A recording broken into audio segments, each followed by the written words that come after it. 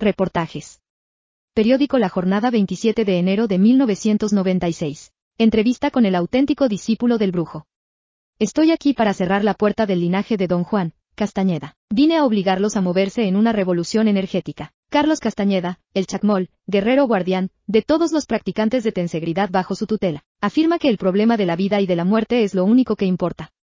¿Vamos a hablar de la guerra en Bosnia? ¿Del SIDA? La gran tragedia es que no queremos cambiar. Nos llevan a la muerte y no protestamos. Queremos cosas probadas, científicas, ¿de qué hablamos? De la aplicación de ciertos principios para resolver tautologías, un calvo es el que no tiene pelo, ¿y? Eso no es hablar de la vida y de la muerte. Don Juan decía que no podíamos ayudar a nadie, porque si lo haces se enojan, te insultan, te queman, te matan. Por ejemplo, esta niña, Marcela, quiere cambiar, ¿hasta qué punto va a aguantar la presión necesaria para el cambio? Eso ya es otra cosa. Al filo del mediodía, la reportera apenas podía creer lo que Lidia del Monte afirmó por teléfono. Carlos Castañeda ya está en México y te invita a comer. Yo misma te paso a recoger para llevarte al lugar de la cita. Te recuerdo que no puedes llevar cámaras ni grabadoras. El brujo Jackie Don Juan Matus enseñó al antropólogo convertido en aprendiz de brujo que no se puede insistir. Cuando van a salir las cosas, salen de una manera muy simple y natural y en el momento en que insiste se acaba la magia y el poder. El encuentro con Castañeda se dio de una manera inesperada en un restaurante de Polanco. El número de reservación C14 nos dio acceso a un salón en cuyo extremo el autor del libro Las enseñanzas de Don Juan conversaba animadamente con tres mujeres. Talía Bay y Kaili Landoul, rastreadoras de la noche, y Marcela una joven psicóloga que colaboró en la organización del seminario, Los Nuevos Senderos de la Tensegridad, que este fin de semana imparte, en nuestro país, el propio Castañeda. Las arrugas en el rostro y el pelo entrecano revelan que pasa de los 60, no pregunten mi edad porque no se la voy a decir, sin embargo está lleno de energía juvenil. Parlanchín y bicharachero, la conversación de Castañeda está llena de chistes y anécdotas. Utiliza constantemente expresiones como pucha, vos y querés. Entre broma y broma, este hombre de baja estatura y tez morena suelta de repente que el tiempo se acaba. La expresión, del ello, sobre nosotros es excesiva. La más horrible es sobre nuestro cuerpo cognitivo. Tenemos que empezar algo nuevo, sin embargo a una edad temprana envejecemos, nos volvemos seniles, hablamos sin pensar, repetimos imbecilidades, como si encendiéramos un piloto automático. Nadie se da cuenta del error y repetimos afirmaciones sin sentido que se perpetúan a sí mismas. En mangas de camisa, don Carlos toma un pedazo de pan bimbo tostado, lo dobla y comenta contundente, por ejemplo, este pan está fofo, lo comes y te vuelves fofo. De la misma manera agrega como si nada, ¿cuál es la brujería de don Juan? Simplemente actuar dentro de sí mismo, en 1973 don Juan se fue, se extinguió. Fue un acto pragmático como caerse de un banco, se murió pero no como mi abuelo que murió soñando que tenía un orgasmo y lo último que dijo fue, Angelito, Angelito, ahí te va, sin que los comensales de otras mesas imaginaran que junto a ellos se encontraba el mismísimo Carlos Castañeda comiendo un bistec con papas, la tarde se deslizaba pausadamente. Comenta divertido que en varias ocasiones lo han suplantado. Una vez vio una entrevista en la televisión en la que un supuesto Carlos Castañeda afirmaba tener línea directa con los chamanes toltecas de Sonora. El auténtico discípulo de Don Juan hace una precisión. El imperio tolteca es una configuración teorética. Ser tolteca equivale a decir, en la actualidad, que somos demócratas. Así que hablar de los chamanes toltecas de Sonora es una verdadera idiotez. Castañeda recuerda que yo era un baboso aburridísimo que tomaba vino tinto y me creía la gran caca. Y don Juan se moría de la risa y se burlaba, ahí viene el hombre sutil. ¿Y qué me dices de la zanahoria que traes metida en el culo? Y yo le preguntaba que como un hombre tan inteligente como él utilizaba unas metáforas tan vulgares y groseras y don Juan me respondía que sí, pero que eso era lo más obvio. Y yo me moría de coraje, hasta que logró dejarme sin ego. Ahora no necesito a don Juan, pero al mismo tiempo sí, es un afecto sin nombre y al mismo tiempo una independencia sin medida, antes de la hora anunciada ya estaba casi lleno el salón en el que Carlos Castañeda dictó, ante unas mil personas, la conferencia introductoria a la tensegridad, vocablo que mezcla los términos tensión e integridad y que son expresiones que denotan las dos fuerzas impulsoras de los pases mágicos de los chamanes del México, precolombino y que Castañeda comparte abiertamente porque afirma que es un hombre al que no se le da la secrecía. Múltiples letreros verdes advertían que el cupo para el seminario estaba totalmente lleno y que sin excepción ya no se aceptaría ningún pago ni se admitiría a nadie más. Después de identificarse y enseñar su recibo de inscripción, los asistentes del seminario Los Nuevos Senderos de la Tensegridad pasaban por un dispositivo de seguridad, registro y detección de metales. A las 8 de la noche en punto, Castañeda entró al Salón Ciudad de México y cautivó con sus anécdotas y un delicioso espíritu burlón a sus entusiastas lectores y practicantes de tensegridad. La brujería, insistió en varias ocasiones a lo largo de más de dos horas y media, es el arte de interrumpir el flujo de un sistema de interpretación que nos permite conocer y manejar al mundo, y estoy aquí para cerrar la puerta del linaje de don Juan con una explosión, obligarlos a pensar y a moverse en una evolución energética. Marcos, no lo conozco. Perdónenme, no conozco ni pizca. Los seres humanos vivimos en constante sed y con miedo a liberarnos. Castañeda. Es preciso anular la egomanía y descubrir nuestro cuerpo energético, destaca el chamán. Carlos Castañeda no conoce a, Marcos, ni sabe del ZLN, y no lee periódicos, y niega ser un gurú o un mesiánico, o considera, con Juan Matus, que la compasión y las preocupaciones sociales son una mentira que se regenera, él es crítico de gurús y mercachifles de Dios, le asegura que su madre fue comunista y panfletista. Estos y otros asuntos abordó en una conversación con los medios de comunicación, durante una pausa en el seminario Los Nuevos Senderos de la Tensegridad, efectuado de viernes a domingo en la Ciudad de México, y con el cual empieza una etapa de difusión masiva de sus conocimientos como brujo o chamán. Durante más de una hora, la noche del sábado, el autor de las enseñanzas de Don Juan y relatos de poder respondió a las más variadas preguntas. Con serena elocuencia, a menudo bromista, siempre respetuoso de sus interlocutores, sin reparos, Castañeda fue de un tema a otro, según se iban disparando las preguntas de los ocho periodistas reunidos en torno a él. Eso sí, nada de cámaras ni de grabadoras. A continuación se ofrece una versión de la plática, editada y reconstruida a partir de apuntes. Conviene recordar que para Carlos Castañeda las palabras son insuficientes y limitadas para describir o explicar sus experiencias como brujo, a sí mismo. Les asigna valores y significados que escapan a la lógica lineal en que normalmente nos movemos. Los brujos cómo consideran a la espiritualidad y el sentido de divinidad. No sé cómo entienden ustedes la espiritualidad. ¿Lo opuesto a lo carnal? No necesariamente, sino como parte de un todo, distinto. Bueno, en ese sentido, Juan Matus es puro espíritu. El brujo cree en el espíritu de hombre, no en la espiritualidad. Don Juan decía, yo amo a mi espíritu, es un espíritu bello el del hombre. Si crees que algo me debes y no puedes pagarme a mí, págale al espíritu del hombre. En cuanto a la divinidad, los chamanes no tienen el sentido de la plegaria y no se arrodillan ante la divinidad. No hay necesidad de ruego. Piden al intento, la fuerza capaz de construir y modificar todo, fuerza perenne. Pero no ruegan. Cuando usted habla de los brujos del México antiguo, ¿a quiénes se refiere? Porque aquí hubo distintas culturas, los mayas, los aztecas. No.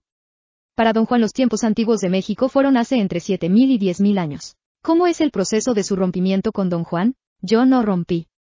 Él es quien me lo dice. Llega un momento en que se da cuenta de que soy tan diferente a él que no puede continuar conmigo, y empieza a atraparme, me tapa todas las salidas y solo deja una. Usted conoce a los indios de México. Viven en malas condiciones y hay 6.000 de ellos en las cárceles. ¿Qué tanto le interesan los indios de México? Me interesan absolutamente. Yo le hice una vez una pregunta a don Juan. Hace tiempo escribí un libro que no se pudo publicar, La fama de Nacho Coronado. Nacho era un indio yaqui que tenía tuberculosis y pensaba que con un crédito bancario podría comprar vitaminol y se curaría. Yo le pregunté a don Juan, ¿no le preocupa eso? Las premisas de Nacho son las mías. Dijo, sí me preocupa muchísimo, pero al mismo tiempo me preocupas tú. ¿Crees que estás mejor? Claro, que a mí también me interesan, pero me interesan ustedes. Estamos involucrados en un estado de sed que nos consume sin darnos tregua, sin darnos nada. ¿Qué opina de Marcos, del Ejército Zapatista de Liberación Nacional y del levantamiento indígena en Chiapas? ¿Quién? ¿Marcos? No lo conozco. No tengo idea. Pucha, estoy perdido. Perdónenme, no conozco ni pista. ¿Cuál es su sentimiento respecto de la humanidad? Es un sentimiento de tristeza. Yo trabajo por la humanidad, el hombre es un ser extraordinario, lo que implica una responsabilidad tremenda. Pero está en el yo, yo, yo, yo, yo, yo. ¿Por qué tal homogeneidad? ¿Por qué todo se convierte en culto al ego? ¿Por qué el miedo a liberarse? La liberación como la entiende Castañeda, comprende el rompimiento de los prejuicios perceptivos, la anulación de la egomanía, el alcance de la ensoñación que permitiría a cada quien descubrir su cuerpo energético. Y después de todo, eventualmente, estar en condiciones de iniciar un camino arduo pero exquisito hacia otros mundos. En la lógica de nuestro mundo cotidiano, esta intención liberadora puede interpretarse como mesiánica y ya sabemos lo que ha pasado con las experiencias mesiánicas. No, no, no, no. Eso es demasiado bochornoso. Nosotros no valemos tanto. Mesiánico es el New Age y todos los gurús de la nueva onda, los mercachifles de Dios. Nosotros no pretendemos nada. No ofrecemos esperanzas de algo que no podemos dar. ¿Cómo concilia esa preocupación por la humanidad con el desinterés por asuntos como Bosnia o Chiapas, en los que hay mucho sufrimiento del hombre? Pero corazonzotes, por favor, el sufrimiento está en todas partes, no solo ahí. Toda la humanidad genera sufrimiento. Mi madre era una comunista, una panfletista, una proletaria. Yo heredé eso. Pero don Juan me dijo, estás mintiendo. Dices que te preocupa eso y mira cómo te tratas tú mismo. Deja de aniquilar a tu cuerpo. ¿De verdad sientes compasión por tus semejantes? Sí, le respondí. ¿Hasta el grado de dejar de fumar? No. Mi compasión era una superchería. El muy bandido me dijo, mucho cuidado con los entretenimientos sociales. Esos son placebos, son el gran chupón. Es una mentira que se regenera. ¿Por qué usted como hombre de su tiempo no lee los periódicos? Por la simple razón de que estoy curtidisísimo, ísimo, ísimo, ísimo, ísimo, contra cosas tápicas. Usted ha escrito que el camino del guerrero es un camino solitario, no hay una contradicción al hacer cursos masivos como el de la tensegridad, no. Yo aquí no estoy hablando de cosas duras. A lo mejor la tensegridad les da la energía para hablar de cosas de veras pesadas. Pero por algo se empieza. Las enseñanzas de don Juan generó un culto por ciertas plantas alucinógenas, pero usted ahora descalifica aquel libro, dice que es mejor olvidarlo. ¿Por qué? La idea de ingerir una de esas plantas sin disciplina no va a llevar a nada. Si acaso a un desplazamiento del punto de encaje, pero fugazmente. Ahora, cuando don Juan me las dio, ese era el tenor del momento. Yo me crié convencido del valor de la severidad de mi abuelo. Tenía el punto de encaje casi soldado. Don Juan Matus me dijo, tu abuelo es un vejete. Yo tenía soldado el punto de encaje y él sabía que solo con alucinógenos lo podía remover. Pero nunca hizo lo mismo con otros, no les dio ni café. Los alucinógenos valían para mí, pero yo lo tomé como un índice total. ¿Qué espera de la apertura que ahora están iniciando? No sé qué es lo que va a pasar. Don Juan nunca me dijo qué es lo que va a pasarme enfrente de la masa. Antes estábamos atentos a proseguir de acuerdo a los mandatos de Don Juan. Nos prohibió estar en las candilejas. Ahora quiero enseñar así, porque es una deuda tremenda que ya no puedo pagarle a él. ¿No tiene miedo de convertirse en gurú? No, porque no tengo ego y no hay cómo. Concluyó seminario sobre la tensegridad. Soy un idiota como todos ustedes, Carlos Castañeda. Si existe energía, seguiré viniendo a México. No hay a la vista en Carlos Castañeda nada que permita adivinar en él a un guía espiritual. Muy delgado, bajo de estatura, desgarbado, moreno de cabello cano y ralo peinado hacia adelante, viste una camiseta de manga larga y pantalones de mezclilla sin bolsas traseras. Sobre una plataforma, con un pequeño micrófono prendido a su ropa, se desenvuelve con soltura ante su audiencia. 700 personas reunidas en la última de sus tres conferencias sobre los nuevos senderos de la tensegridad en el centro asturiano. Sentados o recostados sobre la alfombra, lo escuchan pendientes de sus gracejadas que festejan con risas estentóreas y a veces con aplausos. ¿Se acuerdan del chiste que les conté anoche? Se lo voy a contar otra vez. ¿Qué les iba diciendo? Estoy senil. Castañeda habla siempre con el humor por delante, y así resuelve las dudas o las deja como estaban, esmerando en no intelectualizar la charla. Hagan preguntas funcionales, cortitas. Háganlas por un deseo de saber, no de que yo los oiga. No lee cartas para evitar enfrentarse a preguntas estrafalarias, dice, y menciona algunas de las cuestiones que sus seguidores acostumbran plantearle. Soñé que era pájaro. ¿Pájaro cómo? ¿Puto o qué? Es una respuesta china, pero adecuada. ¿Cómo puedo saber si soy un ser doble? Eres doble pendeja. Pendeja doble. ¿Cómo puedo llegar a ser lo que nunca he sido? Pues no sé, pujando. Dame una razón para que la razón sea razonable. No, no. No hay que guiarse por el intelecto. Son preguntas que parecen profundas pero no lo son. Son entretenimiento. Don Juan era tan simple que me asustaba.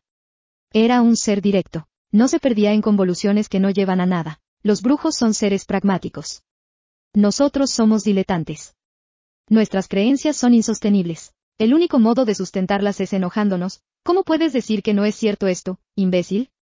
Y nos vamos, enojados. Hay una verdad terrible, nadie quiere ser libre. Da miedo. ¿De qué? No sé. Da miedo. Un pollo audaz se sale del gallinero y se transforma en un prófugo, en un fugitivo. ¿Para siempre? Me preguntó una niña, corazón de melón, o es el gallinero o es la libertad. A mí me gusta la libertad, no me gusta el humanero. En el humanero hay cosas que no son mías. Establece, no soy gurú. Yo no puedo permitir o dejar de permitirle nada a nadie. Eso es demasiado hindú. A nadie le puedo decir si es un chamán o no, o tampoco le puedo decir que en realidad es un idiota. ¿Quién soy yo para decirle eso? Me ponen en situaciones insostenibles. No puedo darle cuerda a nadie porque me parece una falta de respeto total. Eso se da en la amistad. Pero yo no soy amigo de nadie, y el modo en que me defiendo es no viendo a nadie. Hace revelaciones otrora impensables de su identidad. Vengo de Sudamérica. No de Yucatán. Me preguntaron si yo era de Campeche, por cabezón y enano. No, no vengo de Campeche. Vengo de más abajo. No hay algo intrínseco que me transforme en algo especial. No lo hay. He realizado indagaciones energéticas y no, no tengo nada de extraordinario. Yo soy un idiota como todos ustedes. La mayor clave aprendida de don Juan fue adquirir el silencio interno, abolir la hegemonía de la mente como método para encontrar la libertad. Eso es acallar la mente. Don Juan me dijo que cuando lograra 8 o 10 segundos de silencio la cosa se iba a poner interesante, y mi pregunta de pedo fue, ¿y cómo sé que son 8 segundos? No, corazón, no es así, no sé quién te dice que son 8 segundos. Algo interno nos lo dice. La cuestión es acumular el silencio segundo a segundo. De pronto llegué a ese umbral sin saberlo, acumulando segundo a segundo. No existe más la mente. Solo ese silencio. Ese silencio ya tiene más de 30 años. Desde ese silencio les hablo. En este tipo de seminarios, afirma, he visto cosas que don Juan jamás vio. Gente que sin saberlo, atrae a su cuerpo energético. En dos segundos se viene el conocimiento aprendido en 30 años. Desde agosto hasta hoy no sé qué pensar. He visto mucho talento energético y no sé qué hacer con él. Veo la velocidad con que ustedes aprenden. Si los tomara uno por uno me llevaría meses enseñarles un pinche movimiento. ¿Cómo lo hacen tan veloz juntos? No sé. La masa. El grupo da más fuerza. Insiste en desenganchar la mente y emplear el cuerpo energético. Mi mente es algo muy extraño a mí. Hay un substrato dentro de ti que es lo que realmente eres. Desengancha tu mente y ese vas a ser tú. Esto le quita a uno el pundonor y lo transforma en algo funcional, un ser hecho para la pelea. Vuelve a combatir el egocentrismo. La ideología del yo es la más perniciosa. La gente vive solo pensando en ella misma, acudiendo al psiquiatra para hablar de sí. ¡Qué tragedia! Me importo yo y yo y solamente yo, canta. Nosotros no somos así. ¿Por qué defendemos posturas que no son nuestras? Son masturbaciones mentales. No cuestionamos lo que nos imponen porque no tenemos energía. Lo que podía transformar nuestras acciones es el cuerpo energético, y no lo tenemos. Esto no es paranoia de brujo. Los brujos son demasiado simples y directos, no tienen máscara, van a la respuesta. Cuenta su experiencia con una astróloga afamada a la que fue a ver hace tiempo. Se presentó como Joe Cortés, chicano, y ella le dijo que tenía mal los chakres. Me dejó picadísimo y volví meses después, ella ya se había olvidado de mí. Le dije que era Carlos Castañeda y ahora exclamó, qué luz, qué luz. Cuenta también que se le acercó Julio Iglesias, es muy lindo, quien le reveló, cojo todos los días. No muy bien, pero todos los días. Castañeda ignora el porqué de la confidencia, pero no atinó más que a responderle, yo también. Tú coges, yo cojito. Explica. Soy una cógida aburrida. Don Juan me transformó en un avaro de energía. No la gasto. No hago nada. Pero hago todo. ¿Qué demonios es este afán sexual cuando no sienten nada? Conozco a una mujer a la que le llaman, la rompecatres. Nunca sintió nada, pero rompió once catres. Se abre a las preguntas de quienes lo escuchan en esta última charla de alrededor de dos horas. Muchas son las dudas acerca de la tensegridad y la serie de ejercicios físicos que ésta contempla. Muchos se dirigen a él como Nahual. ¿Cómo se fortalece la voluntad? Con energía, es el único modo. ¿Basta con el intento? Hay corazón de melón. El intento es todo. Es como decir basta con la vida. El intento es una fuerza que está en el universo. ¿Nosotros somos parte de un intento? Somos el total del intento. La tensegridad es la única llave, es la única que conozco. Y yo he oído más que vos. Treinta años como Carlos Castañeda, uh. Yo he oído maravillas. ¿Puede hacerse la tensegridad sin zapatos? Hazlo desnuda, pero hazlo. ¿Cuál es la forma correcta de hablar? Ah. Tendríamos que hablar de la forma correcta de cagar. Don Juan hablaba de una forma de masticar. ¿Para qué? Le pregunté. Para evitar los pecados, me dijo. Yo he practicado la tensegridad y siento que no es suficiente. ¿Suficiente para qué? ¿Podemos desligar a nuestros hijos del orden social? Somos parte del orden social. Lo que podemos hacer como padres es desligarnos de tanta pendejada del orden social. ¿Qué pasaría si mucha gente hiciera lo que tú predicas? ¿Qué pasaría? ¿Cómo sé? No puedo especular. Como me decía don Juan, pregúntale a las estrellas. ¿Seguirás viniendo a México? Si hay energía, sí. Vamos a crear una empresa. Bueno, un pequeño grupo de gente que quiere saber más acerca de estas cosas. ¿Es la misma que organiza este seminario? México está repleto de cosas que no se pueden entender porque no tenemos la sutileza. Estamos llenos de cosas que no son dables a encontrar bajo estas líneas de conducta, concluye el seminario, y Castañeda baja de la plataforma entre una multitud que anhela abordarlo. Firma solamente un libro. Un joven le solicita, Nahual, ¿me regala un autógrafo con su dedo? Coloca la muñeca derecha para que Castañeda lo toque pero él dice que no, que eso no, y desaparece tras una puerta. Luis Enrique Ramírez. Periódico La Jornada 30 de enero de 1996.